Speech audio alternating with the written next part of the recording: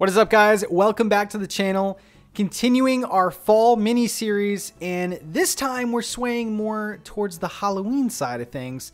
And I believe these are must-have Halloween design ideas if that is what you're going for. If you if you enjoy the spooky season as much as me, you're going to want these on your island. So, if you haven't uh, caught up with my fall series, you can check out my prior videos like this amazing path or this apple apple cider stand farmers market. I love it so much. The first one is kind of updating an idea that we've already done okay? So this first one we've we've talked about these lanterns. And uh, if you haven't watched the video it's basically a paper lantern with a custom design in it. And when it glows at night it is the it is the best thing. It's so good. And I feel like this idea has really caught on, so a lot of people have been making more designs so I kind of wanted to highlight a couple more for you.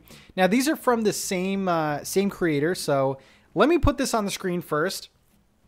Now one is a let's place this here.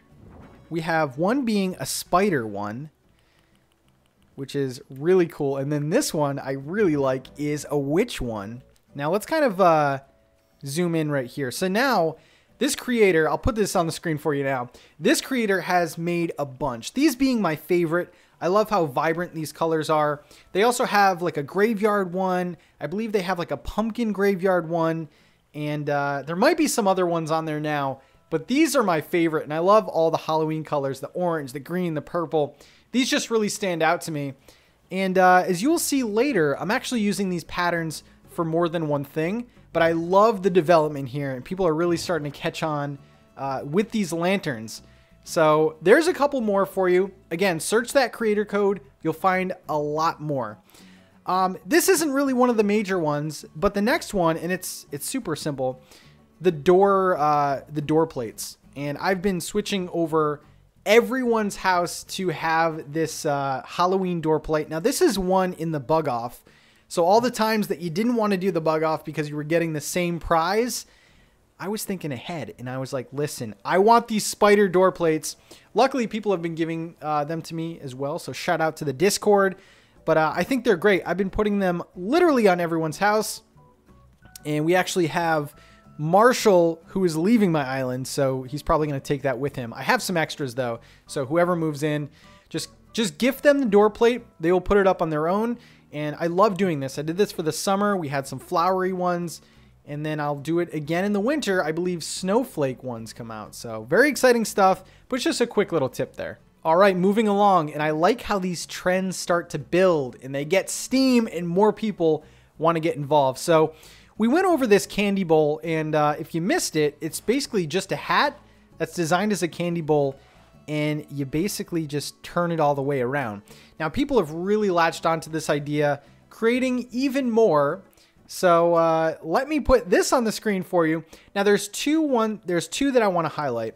We have a cat one and a ghost one. So all you do is you go, and these are pro designs, so these aren't going to take up any spots in your actual design slot. So we're just going to uh, display here. And there you go. That's the cat one certainly a different kind of look. Now my pro designs, I don't really make a lot of clothes, so I have plenty of room for all of these. So we have the cat one, and of course we have the ghost one. I love all these. These are great. So just display here. Now what I've been doing with these is just putting them, like this is the finished product. I've just been putting them outside of people's house. And then, uh, you know, come Halloween, it's going to look really cute. And I feel like the more the merrier. We have a cat and a ghost. Let me know what you think about these in the comments section below. I've seen some other ones with different kind of like candy pouring out and things like that. But these are three that have really stuck out to me. And I love that people are kind of uh, getting hyped about this, making their own. So we have some updated candy bowls. Everyone should have these. These are fantastic. Okay, so this next one is, I think, the best one in the entire video. And maybe I'm biased because I, I recently have done this to my island and uh, I just think it makes a world of difference. And I really do think that, I, I hope this catches on, is what I'm trying to say. So let's go to the plaza. Now, this is the plaza right here, okay? This is the normal size plaza. And I feel like the misconception with the plazas, like everyone's hanging out here. Look at everyone having a ball. I think that the misconception is that people try and uh, hide the plaza a lot. They try and work around the plaza. And uh, at the end of the day, this isn't something that we can control. The plaza is where the plaza is, and we just kind of have to embrace it. So instead of hiding it, I actually decided to add to it. Now this idea has a bunch of parts, so let me go really slow for you. So the first thing we did is we actually extended the plaza, okay? So I will go one piece at a time. So this first piece is a stair pattern, which is on the screen for you right now. Now, uh, I just put this kind of where the, I put the stairs where it meets the plaza. Now, as you will see, there is a green strip of grass. Unfortunately, you can't get rid of that, okay? That's just something that you're gonna have to work around. That's the closest the pattern will go. Uh, so I started with this stair pattern, and then I went with this brick pattern, which I felt is the closest to the plaza. It's not 100%, but it's really close. So I'll put that on the screen for you now. Now, if you look really closely at this pattern, it does have one dot, which is transparent. So it's a full pattern, but one pixel is not full. Now, this is great because as long as you have at least one pixel that is empty, you can then bend it around something. So let me go down here first before we show you this. So let's go into the the island designer, and I'll show you what I mean. Okay, so all we're to do is we are going to, just real quick, because I use sand. Uh, all, all those patterns that are in my plaza, I put sand under first. Now what we're going to do here is we are then going to bend this here. So we just bend this sand. Now I'm going to try and use a pattern that doesn't have a transparent pixel, just to show you what I mean. So I believe this one doesn't have a transparent pixel. Let's put this down. Now, as you can see here, if the pattern doesn't have a transparent pixel, it won't bend itself around the path. But we have this pattern, which I showed you. See the little dot in the middle? This is transparent, so if you put it down, it will bend with whatever pattern you put down. So that's just a little bit of a pro tip. If you're wondering why your pattern won't bend, it's just because it doesn't have a transparent pixel. Okay, so back to this. We've just put this, uh, this brick pattern down, and we've extended the plaza. So uh, it just gives the plaza more life. And let's face it, this is where all the villagers go. And uh, there's a lot of activity here, so why not add to this area? So all I did here was I put two benches kind of back to back, put a leaf pile here. I want to put this leaf pile so bad on the plaza, but of course you can't put any items down. Uh, we did this, and then to make it more Halloween, and this is so great, we have a Halloween little bake shop here. Now this is a bunch of different pieces. So we have the uh, the lamps that we showed before. So we have the spider lamp and we also have the witch lamp on the left side. We have this stall pattern, which uh, normally I don't do stall patterns, but this one was way too good. So let me put this on the screen for you. Again, it's just like a little uh, cute pumpkin bat pattern with a couple uh, yellow sparkly bits on it. Um, and then on the stall, and this is the greatest thing ever, I think I'm going to continue this trend for every season. We have two Halloween cakes. Now, all these are they're basically hats and kind of like the candy bowl, I've just kind of placed them down, turn them all the way around so they face out and they look like cakes that are on a stand. Of course, these are both uh, Halloween designs. So uh, I love these. Of course, they're on the screen for you if you want to take those patterns. And then all I've done here is I put this uh, iron low table, I believe it is, and then I put the cutting board on top. Now, going back to the pumpkin lamps, you can actually customize the cutting board and I've used that same pumpkin pattern so it looks like it's a knife and cute little pumpkin napkins, which is the best thing ever. That is the best thing ever. So this is my new plaza. Of course, it's extended and uh, Merry is having the time of her life. Oh my God. So like I said before, depending on the season, so the next season is probably going to be like Thanksgiving. So I'll, you know, I, I might do like a, a turkey thing. I don't know. I might do something else here. And then of course in the winter, I uh, I could always have like a Christmas Christmas themed cakes or Christmas decorations, whatever comes out uh, during Christmas time.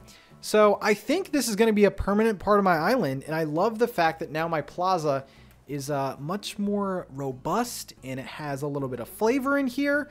Also, I'll put this picture on the screen of Pecan chilling earlier on this bench here because look at this. We have two, I think there's, yeah, three villagers over here. A lot of villager interaction. So make sure if you do extend your plaza, you put things that your villagers can interact with. It is fantastic. And uh, I can't believe I haven't done this sooner. Let me know what you think of my little uh, Halloween bake shop here. And uh, let's go to the final design. All right, the final design uh, was made because I had this area on my island that was just it was just bugging me. It was just that empty area and I didn't know what to do with it, but I still wanted to keep it that fall slash Halloween theme.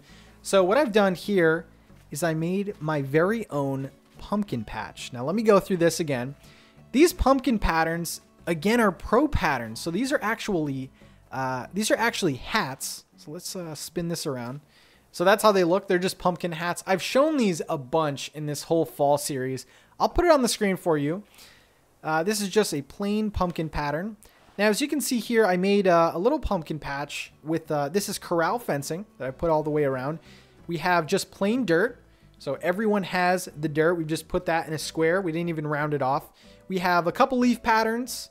Uh, we have some weeds, a scarecrow, a handcart. Very basic. This is what I've done. Uh, I didn't want to fill it all up because I want it to seem like uh, people have been picking pumpkins this whole time. Uh, and then what I did is I have this sign out here is you pick pumpkins. So I'll put this uh, pattern on the screen. I've seen a bunch of different pumpkin signs or pumpkin patch signs or pick some pumpkins, whatever you want. Uh, this one just stood out to me. I would suggest putting a uh, pumpkin sign though, because it really seals the deal and it kind of brings home that whole theme that that's what you're going for. And then I wasn't done yet. I I was like, you know what? This is very fall. I like it, but I need some kind of a Halloween twist. So all I've done over here is I have a log square table. I think it's called. I'm not too sure. I have uh, four low stools, and I kind of customize those to make them a darker brown. And then this is, oh my god, I love this so much. I've actually, I saw this uh, idea over on the Discord, which is in the description, by the way. A ton of cool patterns. And what I've done is I've made myself a jack o' lantern carving station. This is amazing, okay? So the top right, that's the pumpkin pattern I just showed you. The top left, here you go. This is a jack o' lantern pattern. Uh, so they're done by different creators, but I love them both. And then again, we did the cutting board, but instead of the pumpkin napkins, we now have that purple lantern pattern, which makes great spider napkins. See what we're doing here? We're using patterns more than once, get our money's worth. And then we have, of course, that knife block, uh, which is a pretty common item. I feel like I've seen that in Nook's Cranny a bunch. And, uh, you know, small little items, guys, really drive the point home. And uh, I love this. We got a pumpkin patch over here. You can carve them over here. And, uh, you know, we just put little accents here, like uh, we have the hay bed.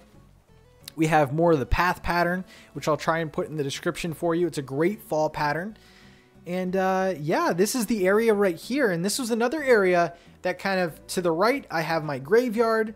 To the left, I have my haunted house maze. And I just needed to kind of fill this space. Let me know what you think here, because this is the newest thing on my island. And I'm actually pretty proud of it.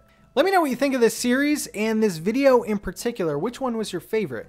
Was it the uh, was it the scary pumpkin spice cake over here? Was it the pumpkin patch? Do you like some of the new lantern patterns? Let me know what you think, guys, and I will see you in the next video. But for now, I think I'm going to do some yoga with Marshall before Marshall leaves. Okay, let's see, uh, let's see if I still got it. Okay? See you in the next video, guys. Peace out.